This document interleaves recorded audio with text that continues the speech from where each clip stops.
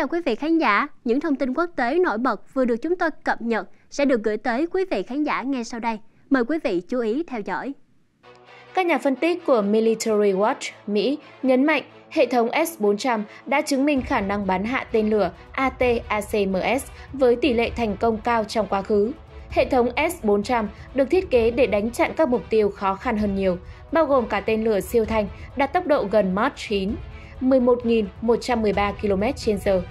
S-400 là một hệ thống phòng không nhiều lớp tích hợp. Ngoài ra, S-400 còn kết nối được với các hệ thống tầm ngắn bổ sung như S-350 và Buk M3 để cung cấp thêm nhiều lớp phòng thủ. Trong cuộc tập kích ngày 23 tháng 11, dường như lực lượng Nga bị bất ngờ, có thể do Ukraine chưa từng tấn công kiểu này vào tỉnh Kursk, Nga và Moscow nghĩ rằng đối phương không biết hệ thống S-400 đang sửa chữa tại đây. Dù hệ thống S-400 đã mất hai bệ phóng tên lửa và có thể là thêm một radar, nhưng S-400 vẫn có thể tiếp tục hoạt động. Mỗi tiểu đoàn triển khai 8 bệ phóng, nghĩa là chỉ 1 phần tư hỏa lực của tiểu đoàn bị ảnh hưởng.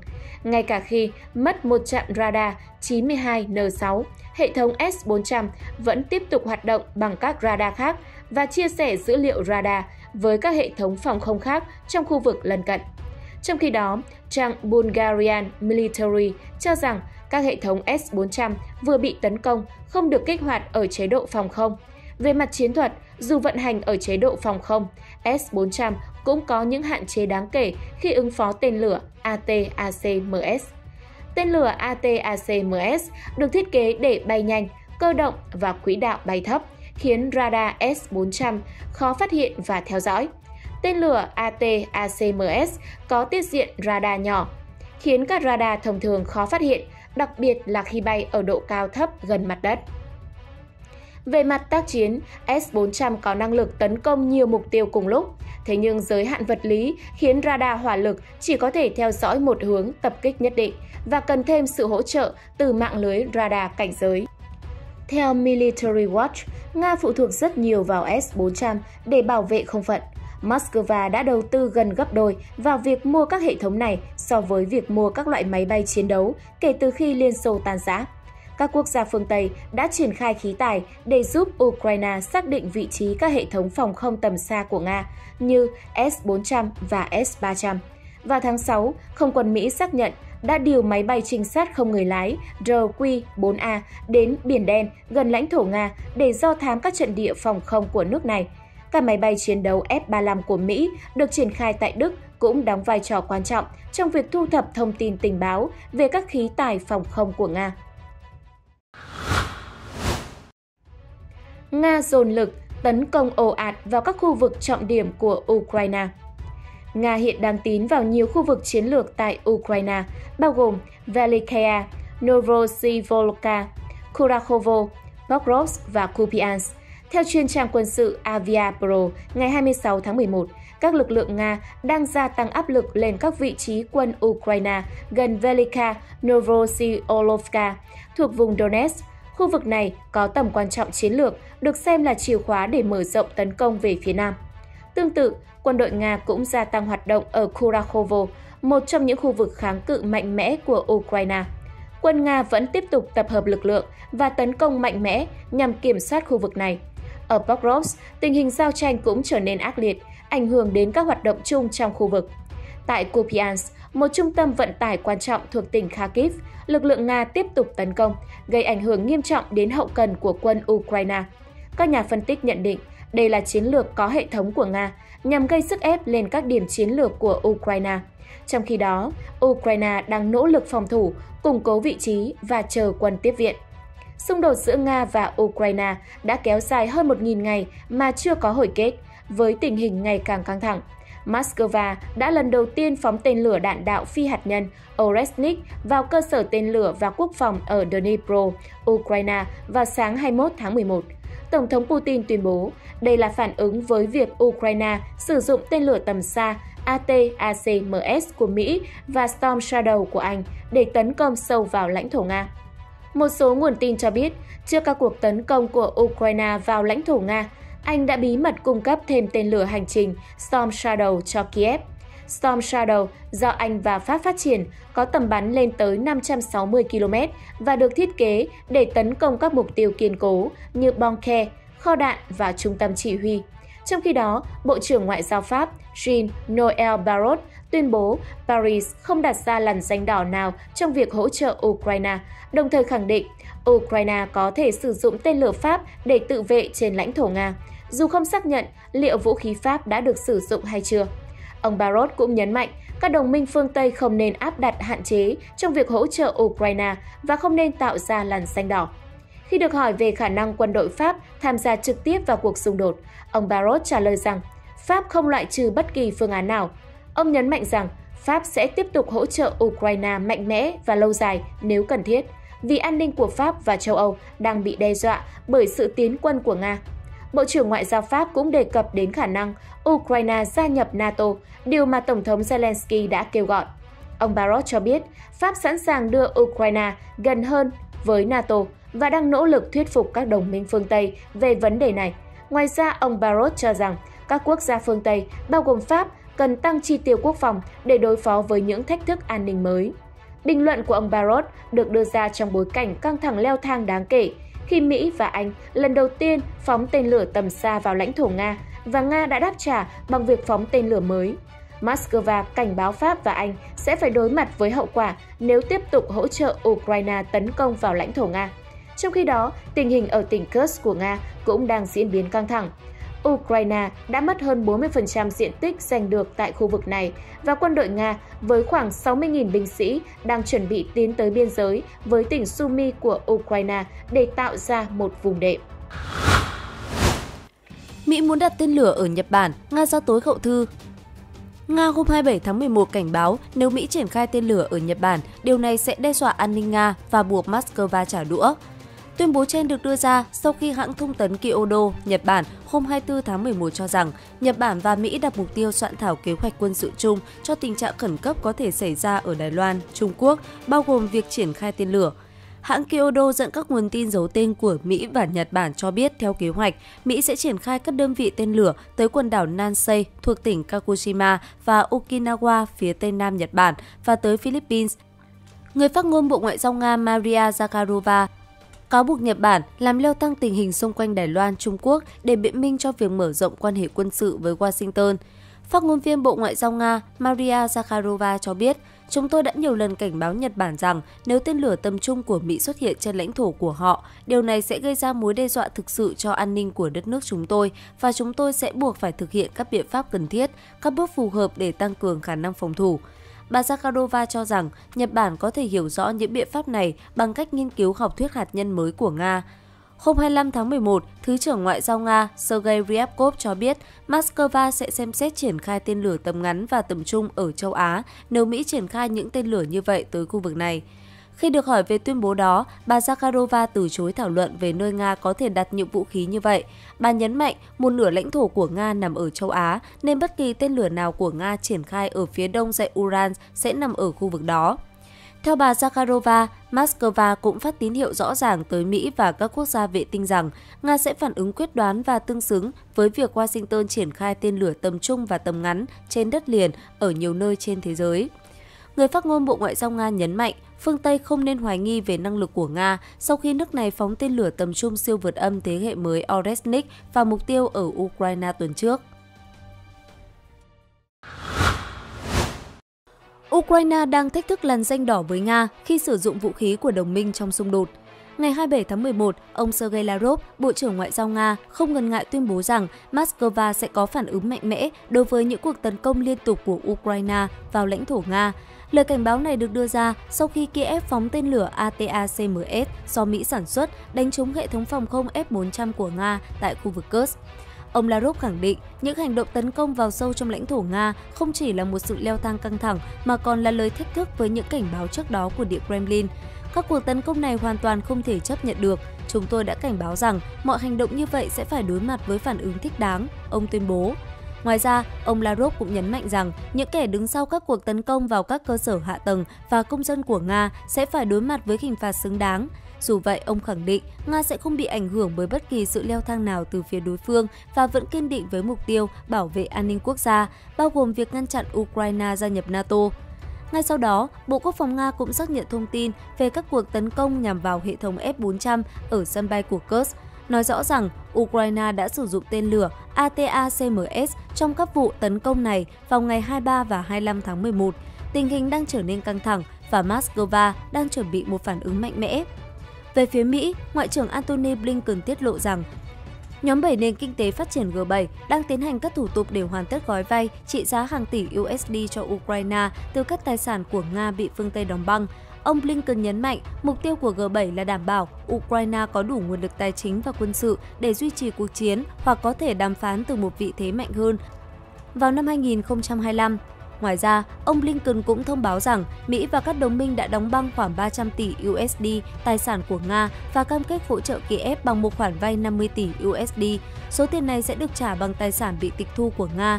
Trung tâm Euroclear, nơi giữ phần lớn số tài sản này, đã báo cáo rằng lãi suất từ các tài sản đóng băng đã lên tới 5,4 tỷ USD trong 3 quý đầu năm tài chính 2024. Trong khi đó, Tổng thống Nga Vladimir Putin cũng nhấn mạnh Moscow có quyền tấn công bất kỳ quốc gia nào cho phép Ukraine sử dụng vũ khí phương Tây chống lại Nga. Canh bạc mạo hiểm cuối nhiệm kỳ, ông Biden gieo hy vọng mong manh cho Ukraine.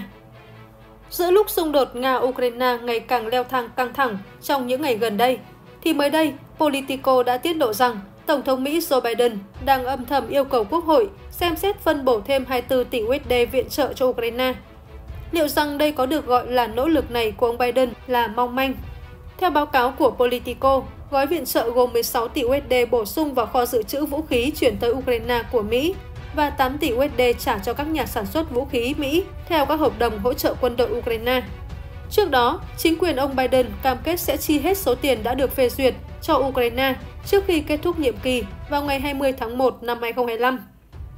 Hồi tuần trước, Tổng thống đương nhiệm cũng xóa khoản nợ 4,7 tỷ USD cho Ukraine, số tiền thuộc một phần gói viện trợ được Quốc hội Mỹ phê duyệt hồi tháng 4. Trong cuộc phỏng vấn với tờ Rossitskaya Gazeta hôm 27 tháng 11, Bộ trưởng Ngoại giao Nga Sergei Lavrov nhận định xung đột Ukraine còn chặng đường dài mới đạt được giải pháp ngoại giao, viện dẫn các động thái gây leo thang căng thẳng gần đây của phương Tây. Ông Lavrov nhấn mạnh Việc Mỹ, Anh và Pháp gần đây chấp thuận cho Ukraine sử dụng vũ khí tầm xa tấn công vào lãnh thổ Nga chính là một bước leo thang khác.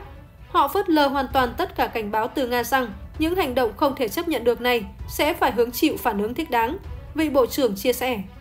Ông Lavrov lưu ý, Tổng thống Nga Vladimir Putin đã làm rõ cách Nga sẽ phản ứng với những bước đi như vậy trong bài phát biểu vào tuần trước sau khi Moscow dùng tên lửa đạn đạo siêu thanh tầm trung Oretnik nhắm vào một cơ sở công nghiệp quân sự của Ukraine. Không hành động nào từ đối thủ khiến chúng tôi từ bỏ việc đạt được các mục tiêu trong chiến dịch quân sự tại Ukraine.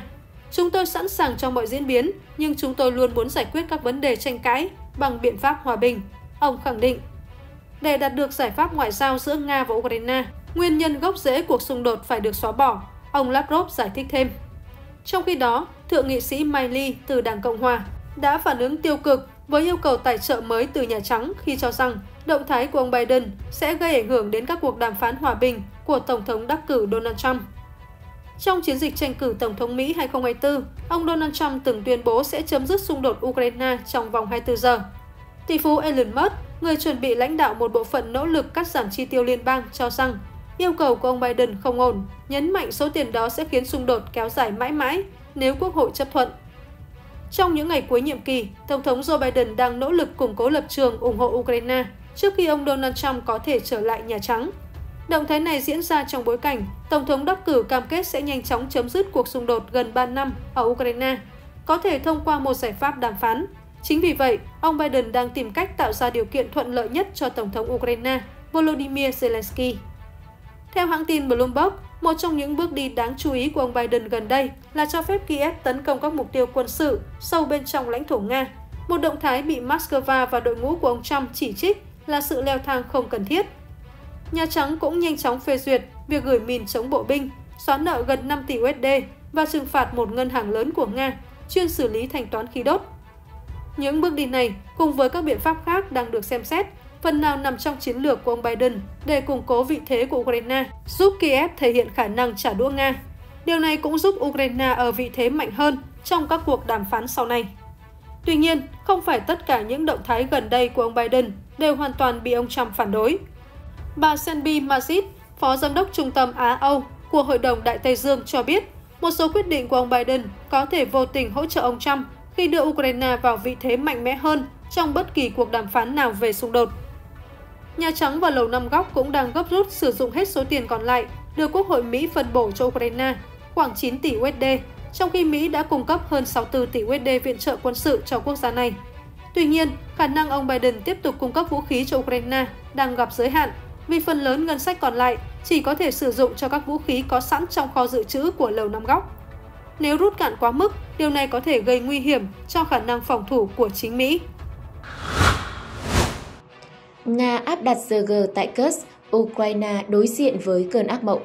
The Wall Street Journal hôm 25 tháng 11 đưa tin, Điện Kremlin đang tìm cách đẩy quân đội Kiev ra khỏi khu vực trước khi Tổng thống đắc cử Donald Trump nhậm chức vào ngày 20 tháng 1 năm 2025. Ukraine đã phát động cuộc tấn công vào khu vực Kursk vào đầu tháng 8 khi các quan chức cấp cao ở Kiev hy vọng động thái này sẽ giúp làm chậm các cuộc tấn công của Nga ở những nơi khác. Tuy nhiên, theo Wall Street Journal hôm 25 tháng 11, ý định này có vẻ không thành công ở cả Kursk và những chiến tuyến khác. Wall Street Journal cho biết trong những tuần gần đây, lực lượng Nga đã chiếm lại gần một nửa lãnh thổ mà quân đội Ukraine tái kiểm soát vào đầu năm nay. Wall Street Journal dẫn lời một chỉ huy tiểu đoàn Ukraine mật danh là Geny nói rằng quân đội Nga tấn công liên tục sáng trưa tối. Theo chỉ huy này, Nga có quân số ở Kursk gấp 3 lần quân số Ukraine và số máy bay không người lái kamikaze cấp gấp 6 lần của Ukraine. Trong khi đó, một binh sĩ cho rằng quân đội Ukraine bị áp đảo về số lượng binh sĩ gấp 10 lần ở phía đông nam thành phố Suda. Theo Wall Street Journal, bom lượn hạng nặng của Nga và việc không thể sử dụng Starlink trên lãnh thổ Nga đã làm trầm trọng thêm tình hình khó khăn của quân đội Ukraine tại Kursk. Hệ thống Internet dựa trên vệ tinh này từ lâu đã được coi là nền tảng của hệ thống liên lạc tiền tuyến của Ukraine ở những nơi khác. Những vấn đề này khiến tinh thần binh lính Ukraine được triển khai đến khu vực Kursk bị sa sút. Ở một diễn biến khác, mặc dù Ukraine đã triển khai các chiến dịch táo bạo, nhưng lữ đoàn cơ giới số 72 của Ukraine, vốn đóng vai trò chủ chốt trong tuyến phòng thủ tại Vuleda, đang gặp rất nhiều khó khăn và đối mặt với nguy cơ bị tiêu diệt hoàn toàn sau thất bại nặng nề tại thị trấn này thuộc tỉnh Donetsk. Cuộc đối đầu ngày càng căng thẳng giữa tên lửa siêu vượt âm Oresnik của Nga và các vũ khí phương Tây như AT-ACMS, Storm Shadow cung cấp cho Ukraine đang khiến cuộc xung đột Nga-Ukraine leo thang. Trong suốt hai năm qua, Vuleda đã là một phần quan trọng của tuyến phòng thủ Ukraine ở Nam Donetsk. Lực lượng đồn trú tại Vuleda, lữ đoàn cơ giới số 72 đã liên tục đẩy lùi các đợt tấn công từ phía Nga. Tuy nhiên do không có sự tăng cường lực lượng đáng kể, các chỉ huy Ukraine đã phải tập trung triển khai toàn bộ lực lượng sẵn có vào các chiến dịch táo bạo với rủi ro cao, chẳng hạn như đợt tấn công vào tháng 8 vào tỉnh Kursk của Nga. Kết quả là quân đội Nga đã từng bước đánh bại lữ đoàn cơ giới số 72, buộc những binh sĩ còn lại phải rút lui khỏi Vuleda vào cuối tháng 9. Cuộc rút lui này đã làm sụp đổ chiến tuyến của Ukraine ở Nam Donetsk, khiến Ukraine mất hơn 258 km vuông lãnh thổ vào tay Nga. Trong khi lực lượng tinh nhuệ của Ukraine đang bị kẹt tại Kursk, Ukraine vẫn đang nỗ lực giữ vững chiến tuyến tại Donetsk dù gặp nhiều khó khăn. Ngoài ra các nhóm tấn công của Nga cũng đã di chuyển xung quanh Velika, Novosinka, tiến về sườn đông của thị trấn này, khiến lực lượng đồn trú Ukraine, bao gồm tiểu đoàn xung kích số 48, lữ đoàn tổng thống và lữ đoàn vệ binh quốc gia số 17, đứng trước nguy cơ bị bao vây. Nếu quân đội Nga có thể chiếm được các cộng sự tại Velika, Novosinka, họ sẽ có thể mở rộng các đợt tấn công sang các khu vực khác ở phía đông. Điều này tạo ra mối lo ngại lớn vì số lượng quân sự bị của Ukraine tại khu vực này không đủ để đối phó với các cuộc tấn công từ phía Nga. Ông Peppertua nhận định, sức mạnh của hệ thống phòng thủ cùng với sự khó khăn trong việc tấn công vùng đất này đã giúp Ukraine duy trì được sự kiểm soát ở một số khu vực, nhưng giờ đây họ buộc phải hy sinh một số khu vực khác để tiếp tục bảo vệ những vị trí quan trọng. Và việc Nga lần đầu tiên sử dụng tên lửa đạn đạo để tấn công thành phố Dnipro ở miền trung Ukraine chính là thông điệp mạnh mẽ gửi đến Kiev và các đồng minh. Cuộc xung đột đang leo thang khó lường khi chỉ còn hai tháng nữa là Nhà Trắng đổi chủ. Vụ tấn công là lời nhắc nhở rằng Nga hiện có kho vũ khí đa dạng hơn với các loại tên lửa lớn hơn và khác biệt, đồng thời sẵn sàng phát triển thêm nữa. Theo đó, vụ tấn công hôm 21 tháng 11 này, theo trang Rolling Stone, dường như là nỗ lực của Điện Kremlin nhằm hạn chế không gian hành động của Tổng thống Joe Biden trước lễ nhậm chức của Tổng thống đắc cử Donald Trump. Ông Biden trước đó đã cho phép Ukraine sử dụng các hệ thống vũ khí quan trọng của Mỹ, trong đó có tên lửa chiến thuật nhằm củng cố năng lực phòng thủ. Trong bài phát biểu trên truyền hình, Tổng thống Nga Vladimir Putin hôm 21 tháng 11 cho biết Nga đã tấn công nhà máy Rusmars, một cơ sở sản xuất đạn dược ở thành phố Dnipro bằng tên lửa đạn đạo siêu vượt âm phi hạt nhân có tên mã là Oresnik. Nhà lãnh đạo này cũng để ngỏ khả năng không kích bên ngoài lãnh thổ Ukraine khi nhấn mạnh Nga có quyền sử dụng vũ khí nhằm vào các cơ sở ở những quốc gia đã cho phép một bên khác sử dụng vũ khí của họ để tấn công các cơ sở của Nga. Nga thiêu đốt chiến trường Kursk dồn Ukraine vào đường cùng. Những ngày qua, các cuộc tấn công dữ dội đã đẩy xung đột Nga-Ukraine lên đến đỉnh điểm. Hôm 25 tháng 11, tờ Wall Street Journal đã đưa tin Điện Kremlin đang tìm cách đẩy quân đội Kiev ra khỏi khu vực trước khi Tổng thống đắc cử Donald Trump nhậm chức vào ngày 20 tháng 1 năm 2025. Thông tin này gần như khiến Ukraine rơi vào tuyệt vọng khi tình hình binh lính Ukraine ở Kursk không mấy khả quan. Wall Street Journal dẫn lời một chỉ huy tiểu đoàn Ukraine mật danh là Geny nói rằng quân đội Nga tấn công liên tục sáng, trưa, tối. Theo chỉ huy này, Nga có quân số ở Kursk gấp 3 lần quân số Ukraine và số máy bay không người lái Kamikaze gấp 6 lần của Ukraine.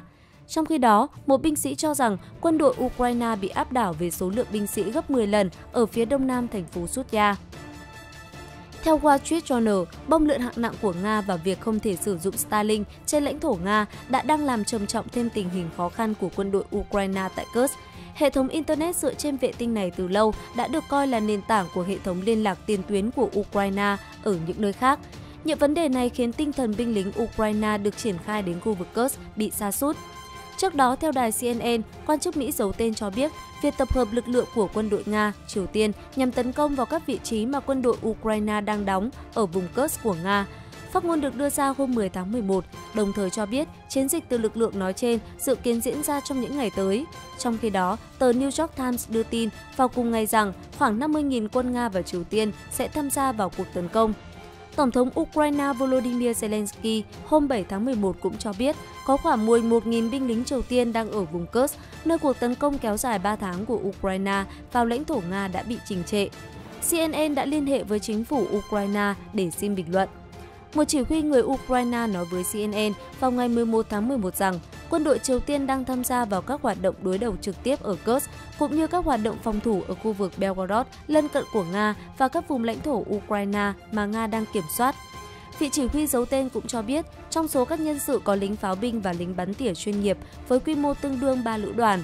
Ông nói thêm rằng, quân đội Triều Tiên là nguồn lực quan trọng đối với Nga trong cuộc xung đột với Ukraine, vì ngay cả những lực lượng được triển khai để phòng thủ cũng sẽ góp phần giúp quân đội Nga tập trung cho các hoạt động tấn công ở nơi khác. Các báo cáo về việc Triều Tiên gửi quân đến Nga bắt đầu xuất hiện vào tháng trước, mặc dù cả hai nước đều bác bỏ vào thời điểm đó. Triều Tiên có một trong những lực lượng quân đội lớn nhất thế giới với 1,2 triệu binh lính, nhưng phương Tây cho rằng hầu hết họ đều thiếu kinh nghiệm đối đầu trực tiếp.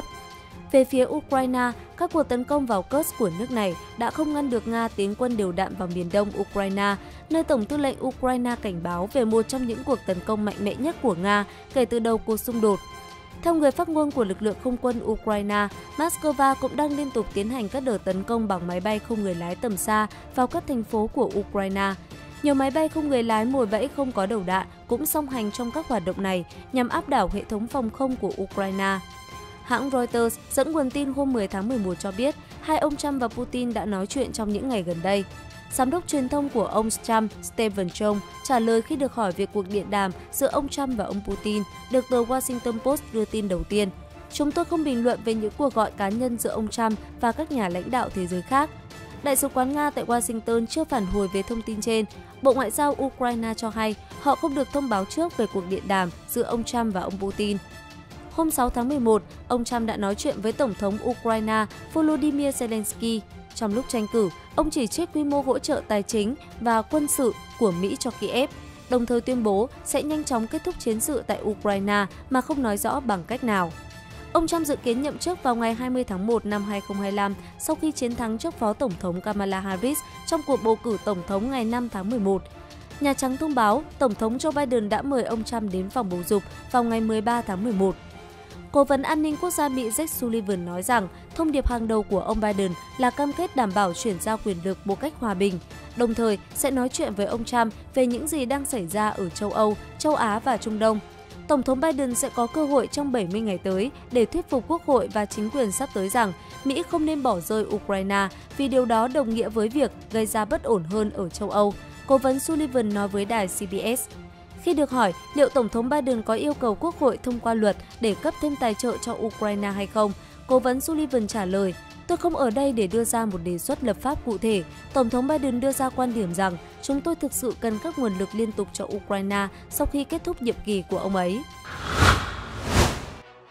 Nga bắn tên lửa đạn đạo xuyên lục địa, Ukraine cảnh báo toàn quốc – Kiev nói Nga đã phóng một tên lửa đạn đạo xuyên lục địa từ khu vực Astrakhan ở phía nam nước Nga trong đợt tấn công vào Ukraine sáng 21 tháng 11. Theo không quân Ukraine, lực lượng Nga đã tấn công thành phố Dnipro ở miền trung Ukraine nhắm vào các doanh nghiệp và cơ sở hạ tầng quan trọng bằng nhiều loại tên lửa khác nhau trong khoảng thời gian từ 5 giờ đến 7 giờ ngày 21 tháng 11.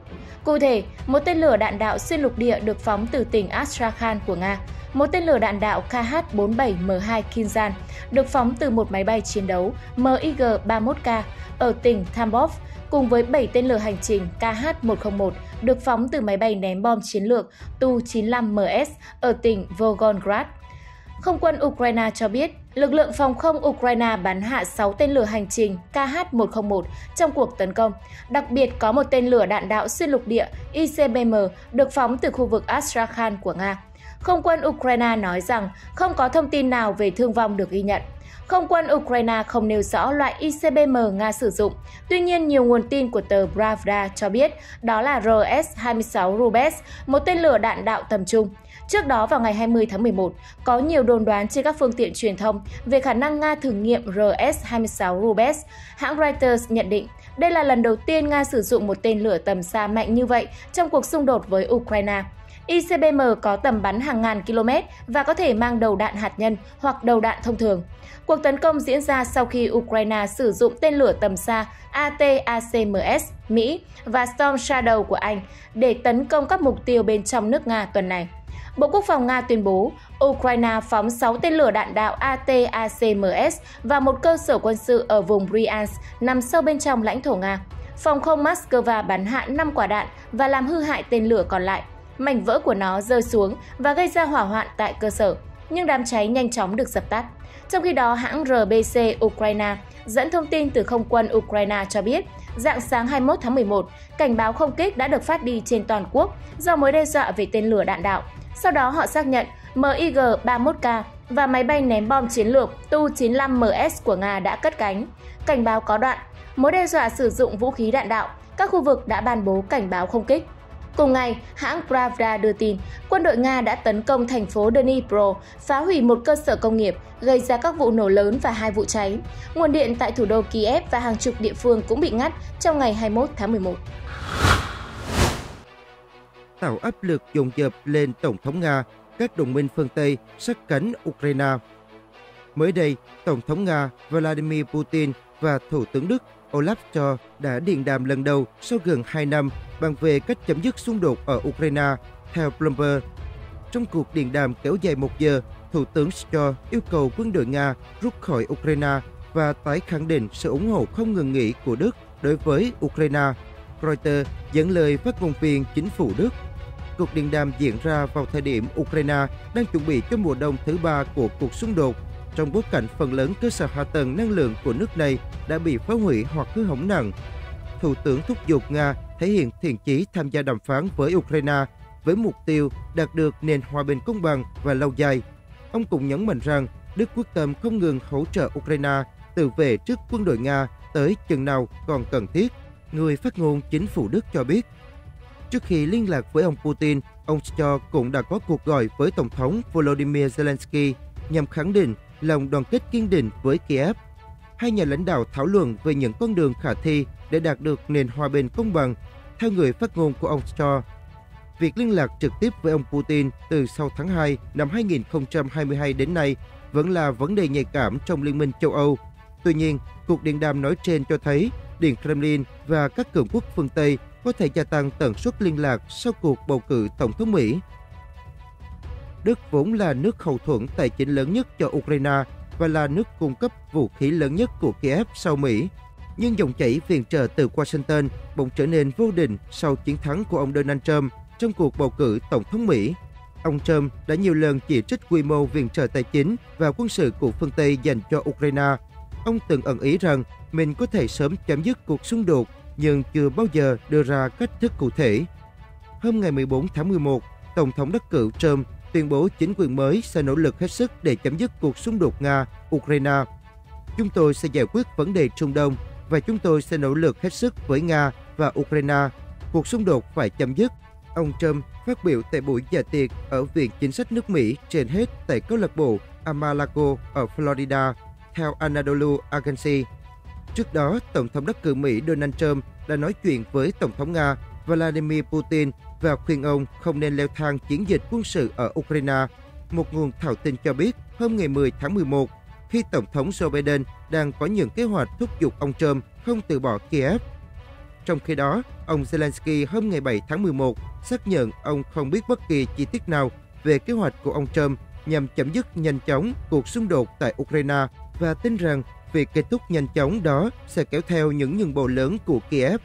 Ngài cho rằng chiến sự không thể kết thúc cho đến khi các vùng lãnh thổ mà nước này đơn phương sắp nhập ở Ukraine được công nhận. Ngược lại, Ukraine yêu cầu trả lại toàn bộ lãnh thổ của mình, quan điểm được các đồng minh phương Tây ủng hộ. Hãng Reuters dẫn nguồn tin hôm ngày 10 tháng 11 cho biết hai ông Trump và Putin đã nói chuyện trong những ngày gần đây.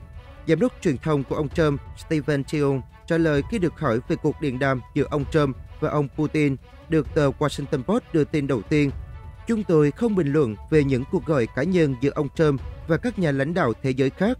Đại sứ quán Nga tại Washington chưa phản hồi về thông tin trên.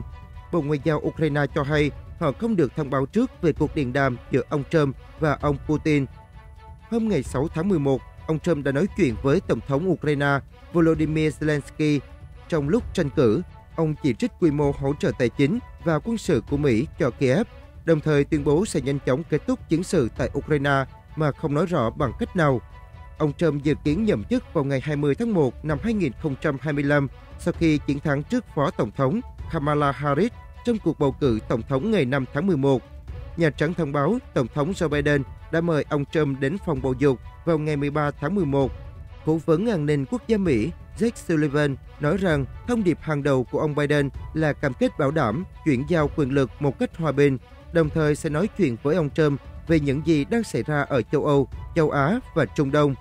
Tổng thống Biden sẽ có cơ hội trong 70 ngày tới để thuyết phục Quốc hội và chính quyền sắp tới rằng Mỹ không nên bỏ rơi Ukraine vì điều đó đồng nghĩa với việc gây ra bất ổn hơn ở châu Âu. Cố vấn Sullivan nói với đài CBS. Ông Trump công bố thành phần nội các, ai nghe cũng phát hoảng. Một số lựa chọn nhân sự ban đầu của Tổng thống đắc cử Trump đã khiến nhiều người hoang mang, đặc biệt sau khi nghị sĩ cực hữu Florida Marquez được tiết lộ là người được chọn làm Bộ trưởng Tư pháp. Sự lựa chọn này đã gây ra sự hoài nghi ngay cả trong nội bộ đảng Cộng hòa, đồng thời làm dấy lên lo ngại rằng ông Trump đang có ý định thực hiện các vụ sát hại hàng loạt tại Bộ Tư pháp để trả thù các cuộc điều tra hình sự nhắm vào ông. Theo The Guardian, ngày 15 tháng 11, hôm ngày 14 tháng 11, Tổng thống đắc cử Trump đã chỉ định luật sư riêng của mình, ông Todd Blanche, làm Thứ trưởng Tư pháp. Ông Blanche là cựu công tố viên liên bang ở quận phía Nam, văn phòng luật sư Mỹ New York. Một thành viên khác trong nhóm pháp lý của Tổng thống đắc cử Trump là bà Emin Paul, người sẽ giữ chức quyền Thứ trưởng Tư pháp cho đến khi ông Blanche chính thức được xác nhận.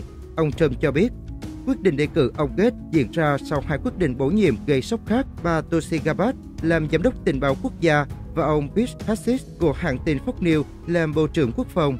và Gabbard, 43 tuổi, sẽ giám sát hoạt động tình báo rộng lớn của Mỹ, dù từng bị cáo buộc có liên quan đến Điện Kremlin.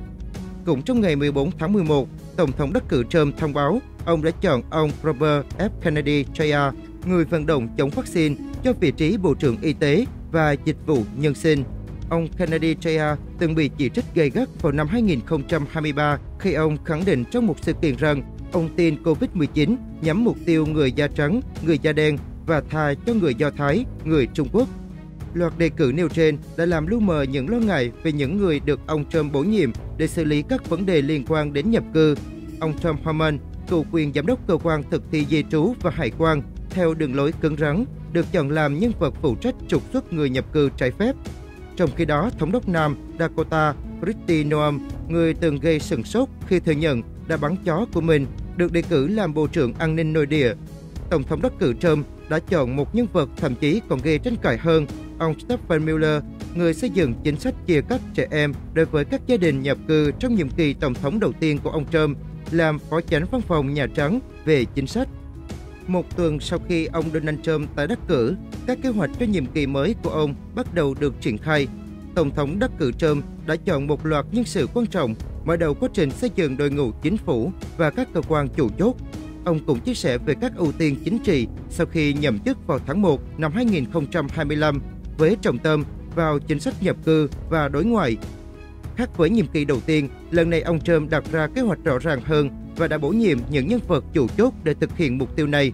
Trong đó, Stephen Miller, cố vấn thân cận của ông Trump từ năm 2015, được bổ nhiệm làm phó chánh văn phòng Nhà Trắng, phụ trách chính sách. Ông Mueller có thể đóng vai trò quan trọng trong các kế hoạch trục xuất người nhập cư bất hợp pháp và giảm thiểu số lượng người nhập cư không giấy tờ tại Mỹ. Thêm vào đó, Thomas Homan, cựu giám đốc cơ quan di trú và hải quan ICE, được giao nhiệm vụ điều hành an ninh biên giới với cam kết điều hành lực lượng trục xuất lớn nhất trong lịch sử Mỹ. Tuy nhiên, kế hoạch trục xuất hàng loạt của Trump vấp phải chỉ trích với những cảnh báo về chi phí lên đến hơn 300 tỷ đô la Mỹ. Trong khi đó, về chính sách đối ngoại, Trump đang xây dựng đội ngũ có quan điểm cứng rắn đối với Trung Quốc. Ông đã bổ nhiệm hạ nghị sĩ Mike Watt làm cố vấn an ninh quốc gia, một người từng gọi quan hệ Mỹ-Trung là cuộc chiến tranh lạnh. Alice Stefanik, người được chọn làm đại sứ Mỹ tại Liên Hợp Quốc, cáo buộc Trung Quốc can thiệp vào bầu cử Mỹ và bị tin tặc Trung Quốc tấn công. Marco Rubio, người được Trump chọn làm ngoại trưởng, cũng có lập trường cứng rắn với Trung Quốc và từng bị Bắc Kinh trừng phạt vì chỉ trích chính sách của họ ở Hồng Kông. Vào ngày 12 tháng 11, Trump thông báo bổ nhiệm tỷ phú Elon Musk và cựu ứng viên tổng thống Vivek Ramaswamy vào Bộ Hiệu quả của chính phủ để xác định các khoản cắt giảm ngân sách. Musk, người đã chi hơn 200 triệu đô la Mỹ hỗ trợ chiến dịch Trump, hứa tiếp tục tài trợ cho các nỗ lực của nhóm này và giúp các ứng viên đảng Cộng hòa trong các cuộc bầu cử tới. Trong khi đó, vai trò của Robert F. Kennedy Jr. trong chính quyền mới vẫn chưa rõ ràng, mặc dù Trump đã nói sẽ giao cho ông một nhiệm vụ liên quan đến sức khỏe quốc gia. Trump hiện đang tiếp tục lựa chọn nhân sự cho hàng ngàn vị trí trong chính quyền mới, đồng thời có thể thay thế một số quan chức cấp cao. Khác với năm 2016, khi ông phải dựa vào các nhân vật nổi bật trong đảng Cộng hòa, lần này Trump có một đội ngũ ủng hộ mạnh mẽ và sẽ chú trọng đến lòng trung thành trong việc chọn người vào các vị trí quan trọng. Thống đốc Kristi Noam của South Dakota được bổ nhiệm làm Bộ trưởng An ninh nội địa và Pete Hegseth, người dẫn chương trình trên Fox News, được chọn làm Bộ trưởng Quốc phòng. Cả hai đều là những người ủng hộ Trump từ sớm, cho thấy sự ưu tiên của ông dành cho sự trung thành trong việc chọn nhân sự. Phản ứng khác lạ của ông Biden khi ông Trump sắp bước chân vào Nhà Trắng. Mới đây, Tổng thống Joe Biden đã kêu gọi người Mỹ hạ nhiệt sau khi ông Donald Trump giành chiến thắng bầu cử. Tổng thống Biden nói tại Vườn Hồng ở Nhà Trắng rằng thất bại là điều không thể tránh khỏi, nhưng bỏ cuộc là điều không thể tha thứ. Thất bại không có nghĩa là chúng ta bị đánh bại. Điều mà tôi hy vọng chúng ta có thể làm, bất kể các bạn bầu cho ai, là không xem nhau như kẻ thù, mà như những người đồng hương Mỹ. Hãy hạ nhiệt. Tôi cũng hy vọng chúng ta có thể chấm dứt sự nghi ngờ về tính toàn vẹn của hệ thống bầu cử Mỹ. Hệ thống này trung thực, công bằng, minh bạch và đáng tin cậy, dù thắng hay thua. Tổng thống Biden nói thêm, nước Mỹ trong mơ của các bạn đang kêu gọi các bạn ủng hộ. Theo Reuters, Tổng thống Biden đã mời ông Trump đến gặp tại Nhà Trắng. Chiến dịch tranh cử của ông Trump cho biết ông sẽ dự cuộc gặp này. Trong những tuần tới, ông Trump dự kiến lựa chọn nhân sự phục vụ dưới sự lãnh đạo của mình. Một số đảng viên Dân Chủ đã đổ lỗi cho ông Biden, 81 tuổi, về thất bại của bà Kamala Harris. Hôm 6 tháng 11, bà Harris tìm cách an ủi những người ủng hộ. Giống như Tổng thống Biden, bà cam kết sẽ hỗ trợ quá trình chuyển giao quyền lực suôn sẻ, đồng thời kêu gọi các đảng viên đảng Dân Chủ tiếp tục đấu tranh cho những gì họ tin tưởng. Trong một diễn biến khác, Bộ Ngoại giao Mỹ hôm 7 tháng 11 cho biết Mỹ đã có các cuộc đối thoại với Israel trong tuần qua về việc thiết lập cuộc họp đầu tiên. Cuộc họp này nhằm mục đích để Washington nêu và thảo luận về các sự cố gây tổn hại dân sự ở Gaza. Cuộc gặp đầu tiên vẫn chưa diễn ra, nhưng người phát ngôn Bộ Ngoại giao Mỹ Matthew Miller nói với các phóng viên rằng Washington kỳ vọng nó sẽ đến trong một hoặc hai tuần tới. Mỹ đề xuất một kênh mới để nêu và thảo luận về các sự cố gây tổn hại dân sự với Israel trong bức thư do Ngoại trưởng Antony Blinken và Bộ trưởng Quốc phòng Lloyd Austin gửi vào tháng trước. Israel được cho thời hạn một tháng để thực hiện các bước nhằm cải thiện tình hình nhân đạo ở Gaza hoặc phải đối mặt với những hạn chế tiềm tàng đối với viện trợ quân sự Mỹ. Trước đó, Nhà Trắng tuyên bố Tổng thống Joe Biden đã nói chuyện với Tổng thống đắc cử Donald Trump để chúc mừng chiến thắng của ông và mời ông tới Nhà Trắng. Nhờ đâu ông Donald Trump làm nên cú lội ngược dòng không tưởng? Tờ Newsweek nhận định ứng viên đảng Cộng hòa Donald Trump đã thành công trong việc trở lại Nhà Trắng cho nhiệm kỳ thứ hai, hoàn tất cú lội ngược dòng, tưởng chừng như không thể. Kể từ thời ông Grover Cleveland năm 1892, chưa có một tổng thống Mỹ nào được bầu hai nhiệm kỳ không liên tiếp. Các quan chức đã gần hoàn tất quy trình kiểm phiếu tại hơn 1.600 hạt, khoảng 1 phần 2 nước Mỹ, và tỷ lệ ủng hộ ông Trump tăng khoảng 2 điểm phần trăm so với năm 2020. Reuters nhận xét diễn biến này phản ánh sự xoay chuyển rộng rãi, thậm chí là đặc biệt sâu sắc trong cách người Mỹ ủng hộ vị tổng thống chính họ loại bỏ vào 4 năm trước. Báo cáo từ Edison cho hay ông Trump nhận được lòng tin của nhiều người gốc Tây Ban Nha hơn, vốn là nhóm cử tri trung thành với đảng Dân Chủ. Ngoài ra, những hộ gia đình có thu nhập, nhóm chịu ảnh hưởng nặng nề nhất khi giá cả leo thang, cũng ủng hộ ông Trump nhiều hơn. Tiếp đến, ông Trump giành được lá phiếu của 45% cử tri gốc Tây Ban Nha trên toàn quốc, kém hơn con số 53% của bà Harris, nhưng tăng khoảng 13 điểm phần trăm so với năm 2020. Khoảng 31% cử tri nói nền kinh tế là vấn đề quan trọng hàng đầu và 79% trong số này đã bỏ phiếu cho ông Trump. Khoảng 45% cử tri cả nước cho biết tình hình tài chính của gia đình hiện tệ hơn so với 4 năm trước, nên 80% trong số này ủng hộ cựu tổng thống. Ông Trump cũng cải thiện thành tích ở các hạt ngoại thành, vùng nông thôn và thậm chí cả một số thành phố lớn, vốn là thành trì của đảng Dân Chủ. Đối thủ Kamala Harris đã kỳ vọng vào cử tri thành thị và ngoại ô, song thành tích của bà kém khá xa so với Tổng thống Joe Biden 4 năm trước đó. Ngoài ra, dữ liệu ban đầu cho thấy ông Trump đã thuyết phục được cả người Mỹ gốc Latin, những cử tri theo ông Biden trong lần trước. Chiến lược tranh cử của cựu tổng thống chủ yếu tránh xa báo chí chính thống, tập trung thu hút các cử tri nam trẻ tuổi và cử tri thiểu số bất mãn thông qua postcard, với sự đồng hành của những người có sức ảnh hưởng trên mạng xã hội. Ông Trump khẳng định sẽ không nghỉ ngơi cho đến khi mang thời kỳ hoàng kim của nước Mỹ trở lại.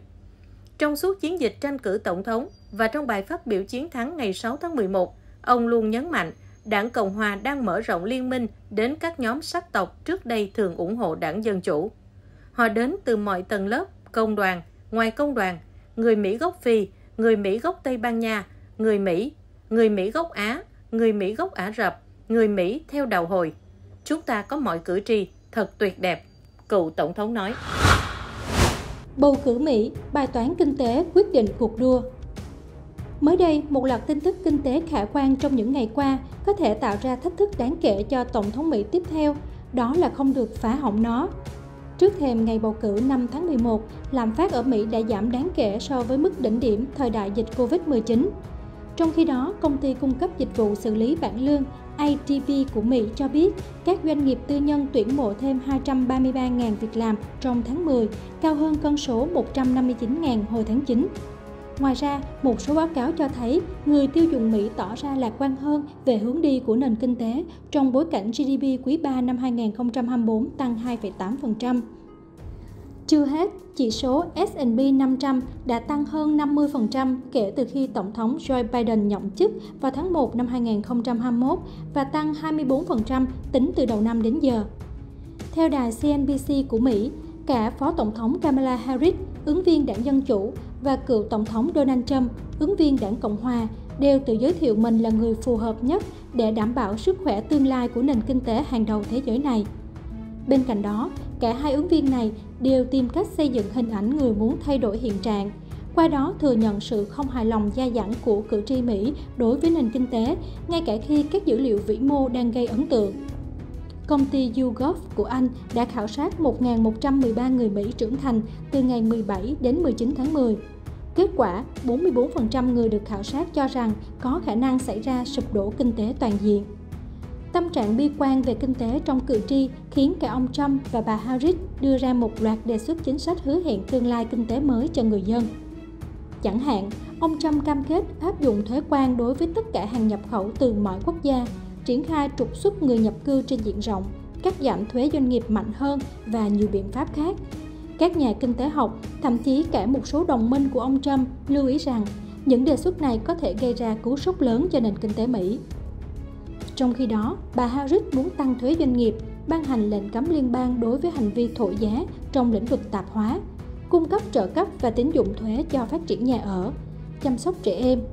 Tuy nhiên, các nhà kinh tế học và lãnh đạo giới doanh nghiệp chỉ trích đề xuất cấm thổi giá và kế hoạch tăng thuế đối với các công ty của bà Harris.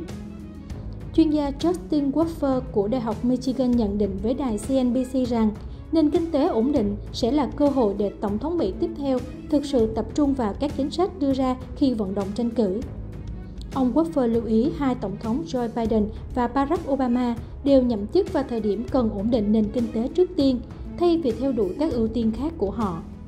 Trong đó, ông Biden đã thực hiện các gói kích thích lớn và các chính sách khác để hỗ trợ hộ gia đình và doanh nghiệp Mỹ vượt khó trong thời điểm đại dịch Covid-19 tác động tiêu cực đến nền kinh tế. Giờ đây, khi ông Biden chuẩn bị rời Nhà Trắng, các số liệu kinh tế mạnh mẽ trong những tuần qua giúp củng cố lập luận của nhà lãnh đạo này. Theo đó, chính quyền ông Biden cùng với Cục Dự trữ Liên bang Mỹ Fed đã hoàn thành nhiệm vụ dù người dân vẫn chưa cảm nhận được điều đó. Không dễ nhìn thấy nền kinh tế hoạt động tốt hơn. Tất nhiên, nhiều người Mỹ có thu nhập thấp và trung bình chưa được hưởng lợi như họ nên có. Thay đổi điều này là điều mà Tổng thống và Quốc hội sắp tới cần tập trung. Nhà kinh tế trưởng Max Yandy của công ty dịch vụ tài chính Morty của Mỹ viết trên mạng xã hội X hôm 30 tháng 10. Thực tế, kinh tế hiện tại khiến cuộc bầu cử tổng thống Mỹ sắp tới trở nên quan trọng hơn. Người thắng cử sẽ cần thực hiện các cam kết cải tổ nền kinh tế mà không làm chệch hướng quỹ đạo tăng trưởng hiện tại. Chính sách ngoại giao đối lập của ông Trump và bà Harris Chính sách ngoại giao giữa ông Trump và bà Harris thể hiện hai hướng đi đối lập trong quan hệ quốc tế. Ông Trump với triết lý nước Mỹ là trên hết, ưu tiên lợi ích quốc gia, hạn chế can thiệp quân sự và ký kết các thỏa thuận thương mại có lợi cho Mỹ. Ông thường tạo mối quan hệ cá nhân với các nhà lãnh đạo như Kim Jong-un và Vladimir Putin. Ngược lại, bà Harris theo đuổi chính sách ngoại giao đa phương, coi trọng hợp tác quốc tế và ứng phó với thách thức toàn cầu như biến đổi khí hậu. Bà nhấn mạnh việc xây dựng liên minh và vai trò lãnh đạo của Mỹ trong các tổ chức quốc tế. Sự khác biệt này không chỉ là tranh luận về chính sách mà còn phản ánh các giá trị và ưu tiên trong cách nhìn nhận vị thế của Mỹ. Chính sách của bà Harris tập trung vào việc hỗ trợ Ukraine trong cuộc xung đột với Nga, giống như lập trường của Tổng thống Biden. Bà đã tham dự hội nghị thượng đỉnh vì hòa bình ở Ukraine và khẳng định cam kết của Mỹ đối với sự toàn vẹn lãnh thổ của Ukraine. Bà cũng trấn an đồng minh về sự đảm bảo an ninh của Mỹ.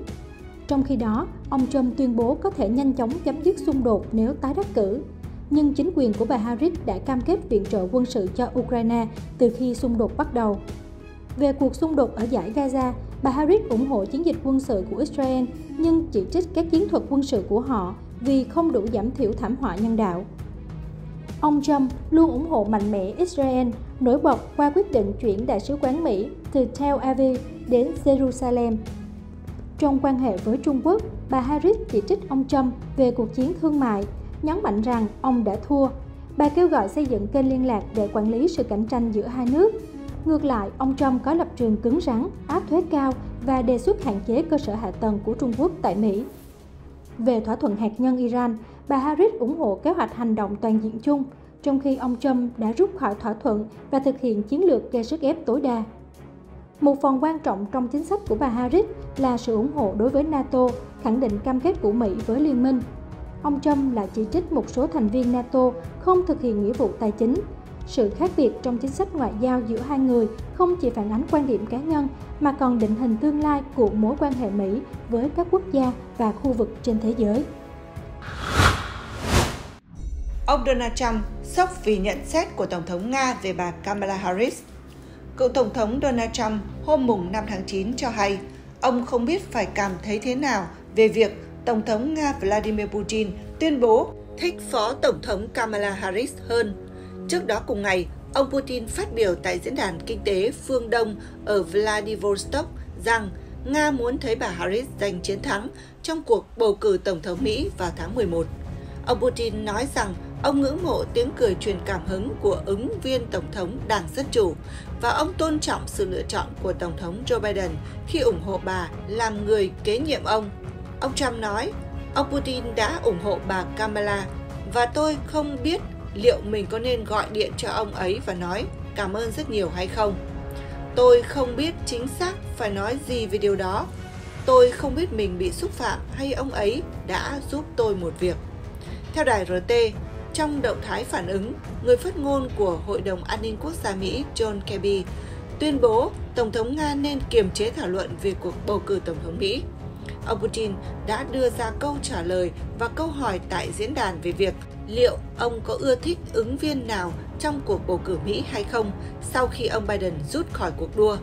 Tổng thống Putin trả lời rằng việc chọn một ứng cử viên ưa thích trong cuộc bầu cử Mỹ không phải là nhiệm vụ của Nga mà tùy thuộc vào cử tri Mỹ. Moscow đã nhiều lần bác bỏ cáo buộc của Washington rằng Nga cố ý can thiệp vào cuộc bầu cử Mỹ.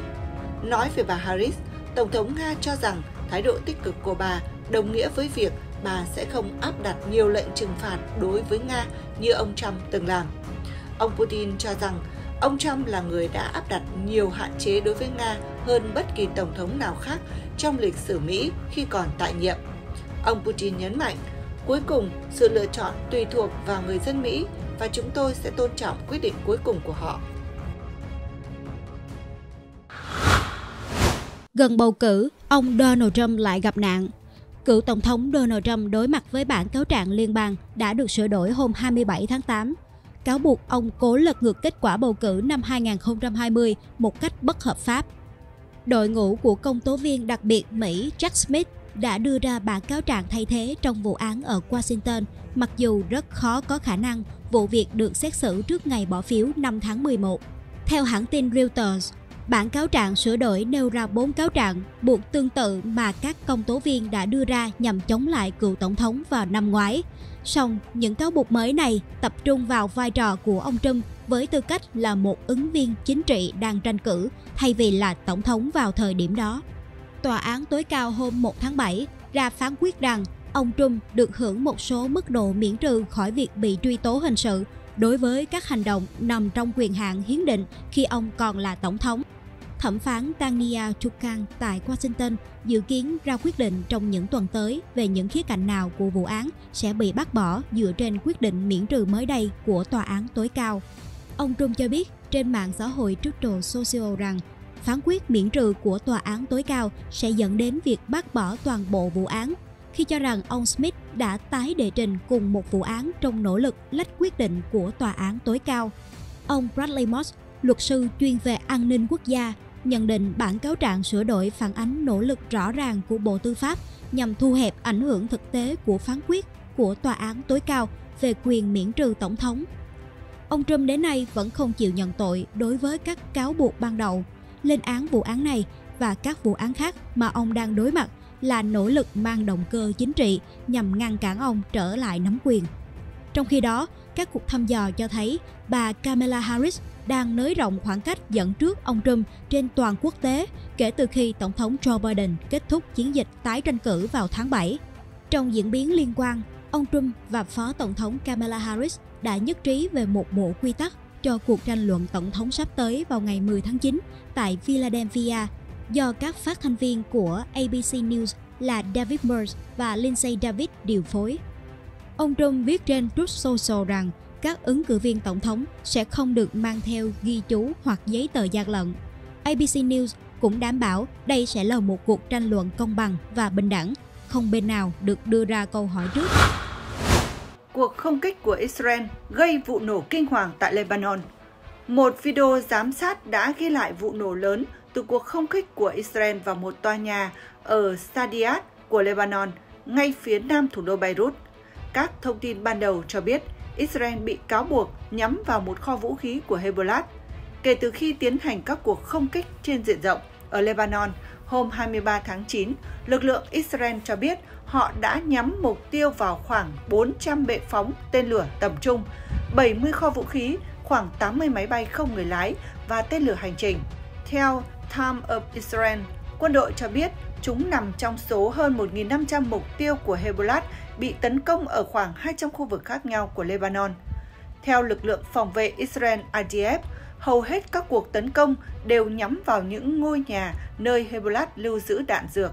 Quân đội Israel cho biết thêm hơn 250 máy bay chiến đấu tham gia cuộc tấn công, thả khoảng 2.000 quả đạn các loại. IDF tuyên bố sẽ tiếp tục chiến dịch phá hủy năng lực tác chiến của Hezbollah và thay đổi hiện trạng an ninh ở miền Bắc Israel. Trong khi đó, Bộ trưởng Ngoại giao Lebanon Abdallah Bo Habi đã bày tỏ sự thất vọng với bài phát biểu của Tổng thống Joe Biden về cuộc khủng hoảng leo thang giữa Israel và Lebanon hôm 24 tháng 9, nhưng ông vẫn hy vọng Washington có thể can thiệp giúp đỡ. Ông Buhabi cho rằng bài phát biểu của ông Biden không mạnh mẽ, không hứa hẹn và sẽ không giải quyết được vấn đề. Ông Buhabi hy vọng Mỹ sẽ là quốc gia duy nhất thực sự có thể tạo ra sự khác biệt ở Trung Đông và trong vấn đề liên quan đến Lebanon. Theo ông Buhabi, Thủ tướng Lebanon dự kiến gặp các quan chức Mỹ. Trong khi đó, Israel cho biết họ muốn một giải pháp ngoại giao sẽ đưa Hezbollah ra khỏi biên giới Israel-Lebanon. Phía Hezbollah tuyên bố cũng muốn tránh xung đột toàn diện và chỉ có chấm dứt cuộc xung đột ở Gaza mới có thể giúp kết thúc căng thẳng ở khu vực. Các nỗ lực nhằm đạt được thỏa thuận ngừng bắn ở Gaza do Ai Cập, Qatar và Mỹ làm trung gian hòa giải đang gặp bế tắc sau nhiều tháng đàm phán bất thành.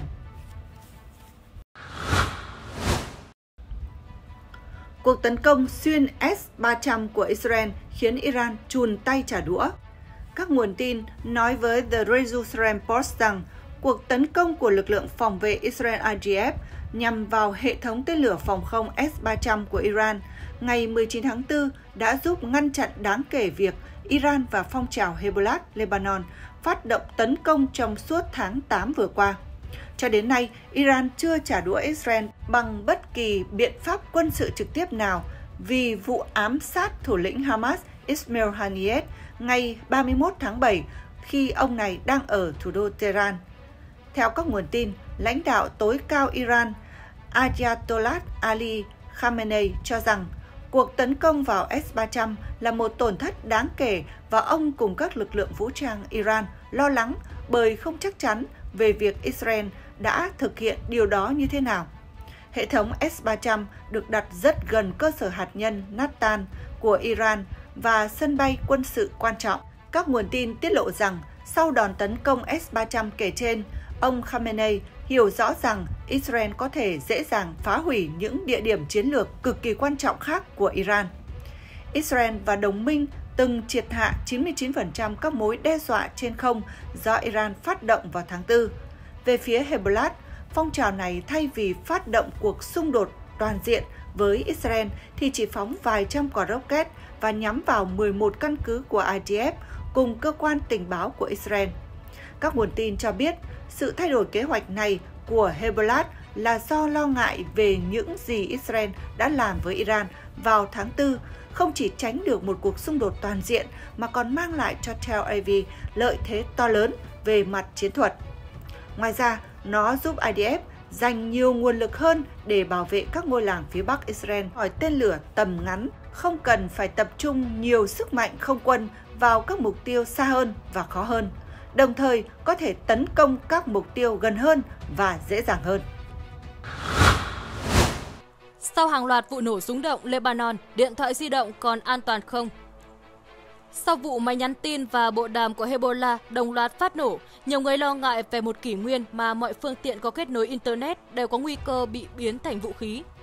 Trong bài đăng trên Washington Post, Tác giả David Inastius cho rằng những vụ nổ bộ đàm và máy nhắn tin của Hezbollah đánh dấu sự khởi đầu của một kỷ nguyên nguy hiểm trong chiến tranh không gian mạng, khi mọi thiết bị kết nối với Internet đều có khả năng biến thành vũ khí. Tuy nhiên, tập Vogue không hoàn toàn đồng tình với góc nhìn này. Theo Vogue, bản thân các thiết bị không phải là vũ khí. Chuyện tin tặc sử dụng phần mềm độc hại để can thiệp từ xa hoặc thậm chí kích nổ pin của thiết bị không phải là chuyện mới mẻ. Song, để gây thiệt hại lớn như ở Lebanon, cần tới thuốc nổ đời cũ. Về mặt công nghệ, vụ ở Lebanon không phải là một bước đột phá gì nếu so với vụ Israel ám sát chuyên gia chất nổ chủ chốt của Hamas, Zaya Aistat vào năm 1996. Ông Aistat thiệt mạng vì một chiếc điện thoại di động phát nổ. Về mặt kỹ thuật, điều gây chú ý nhất trong vụ ở Lebanon là khả năng can thiệp vào chuỗi cung ứng và đưa thuốc nổ vào rất nhiều thiết bị. Nhưng đây là trường hợp thành công hy hữu. Chẳng hạn, Mỹ sẽ khó rơi vào tình huống tương tự như tác giả Colin Demares của Axios chỉ ra, hầu như không có khả năng Lầu Năm Góc mua hàng ngàn máy nhắn tin chứa thuốc nổ C4 cho lãnh đạo cấp cao. Dù khả năng một bên khác bắt trước và tấn công với quy mô tương tự ở Lebanon là rất thấp, song các chuyên gia vẫn cho rằng đây là tiền lệ xấu và số lượng lớn thiết bị kết nối Internet hiện tại đều có thể trở thành các mục tiêu tiềm tàng. Với sự phổ biến của điện thoại di động, máy nhắn tin đã lỗi thời. Tuy nhiên, Reuters cho rằng thiết bị điện tử này vẫn là phương tiện quan trọng trong một số lĩnh vực như dịch vụ chăm sóc sức khỏe và cấp cứu nhờ độ bền và thời lượng pin dài. Một bác sĩ thuộc cơ quan y tế quốc gia NHS của Anh cho biết, nhiều máy nhắn tin có thể phát còi báo động và tin nhắn thoại gửi cảnh báo đồng loạt tới toàn bộ nhân viên về trường hợp khẩn cấp. Các bác sĩ làm việc tại khoa cấp cứu thường mang theo máy nhắn tin khi trực. Máy nhắn tin khó bị theo dõi hơn điện thoại thông minh vì không có công nghệ hiện đại như hệ thống định vị toàn cầu. Trong quá khứ, máy nhắn tin là lựa chọn phổ biến với tội phạm, đặc biệt là nhóm buôn ma túy ở Mỹ. Thông tin vừa rồi đã khép lại chương trình cập nhật thông tin quốc tế của chúng tôi ngày hôm nay. Quý vị và các bạn đừng quên nhấn chuông theo dõi và đồng hành cùng chúng tôi ở các khung giờ để cập nhật những thông tin mới nhất. Xin kính chào và hẹn gặp lại quý vị và các bạn ở những chương trình tiếp theo.